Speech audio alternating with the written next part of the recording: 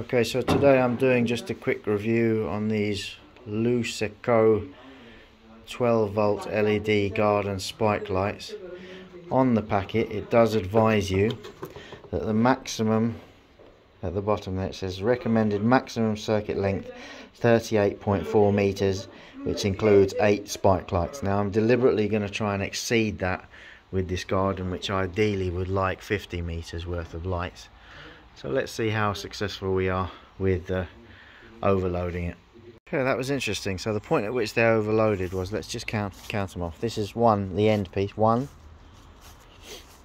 two, three, four, five, six, seven, eight, nine, 10 so we got 10 lamps and then I realize this isn't going to impress anyone on the internet because uh, they're, they're no longer selling them but uh, from the 10th one